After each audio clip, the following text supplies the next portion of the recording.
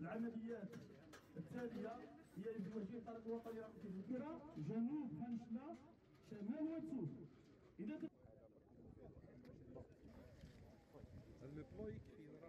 هي زيارة دريج في إطار الأعمال أعمالنا يعني العادية وخاصة عندما يتعلق الأمر بمتابعة برامج تكميلية أقرها السيد رئيس الجمهورية وكانت ولاية خنشلة هي الولاية الأولى التي استفادت إذن من هذه البرامج.